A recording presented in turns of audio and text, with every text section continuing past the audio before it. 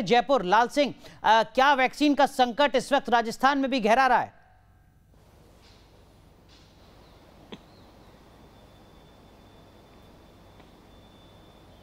रहा है और सबसे जो निराशाजनक तस्वीर है वो ये है कि जब से वैक्सीनेशन शुरू हुआ है, तब से कहीं ना कहीं इस वैक्सीनेशन की रफ्तार को ब्रेक लगा है।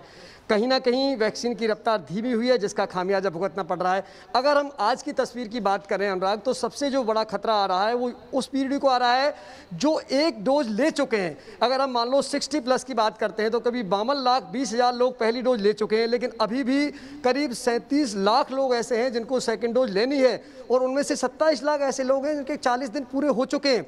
और अगर अब वैक्सीन उनको नहीं मिलती है तो ये चक्र कैसे पूरा होगा? ये सुरक्षा का चक्र जिसको लेकर तमाम मेडिकल एक्सपर्ट से कह रहे हैं कि ये तभी पूरा होगा जब आप दोनों वैक्सीन की डोज समय पर लगवा लोगे। अनुराग सबसे बड़ा संकट 16 प्लस को आ रहा है। इसके बाद 45 से उनसठ साल की बात कर रहे हैं। कमोबेश वहाँ भी वही तस्वीर है। और अब जो सबसे बड़ी तस्वीर का संकट है वो ये है कि जो 18 साल से चवालीस साल के युवाओं में लोगों में जो ज़बरदस्त रुझान दिख रहा है वैक्सीनेशन के लिए। लंबी लंबी कतारें जो नज़र आ रही हैं लेकिन जब पता लगता है कि वैक्सीन नहीं है तो बड़ी निराशा होती है। मेरे साथ सीएमएचओ नरोत्तम शर्मा है जो लगातार वैक्सीनेशन का काम भी संभाले हुए हैं। सर आज भी ये तस्वीर सामने आ रही है कि कई सेंटर पर वैक्सीनेशन नहीं हो पाया क्योंकि वैक्सीन की डोज नहीं मिल पाई थी।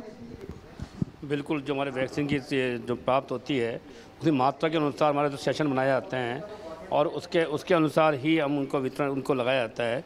निश्चित रूप से हमारे पास वैक्सीन की समय कमी है। हमें वैक्सीन हमें प्राप्त नहीं हुई है।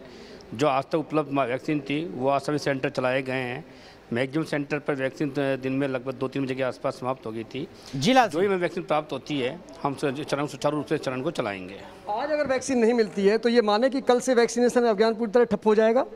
यदि हमें आज वैक्सीन प्राप्त नहीं होती तो कल से सेशन लगना मुश्किल होगा। कल से हम सेशन नहीं लगा पाएँगे क्योंकि जितनी वैक्सीन थी हमने सभी लगभग वैक्सीन सभी जगह पहुँचा दी है सब सेंटर पर और सेंटर पर सभी वैक्सीन काम आ चुकी है। कोवैक्सीन तो कल ही खत्म हो गई थी ये सुनने में आ रहा था। लाल सिंह लाल सिंह तो राजस्थान में है। संकट है जैसा आपके साथ जो एक्सपर्ट हैं वो लगातार बता रहे हैं।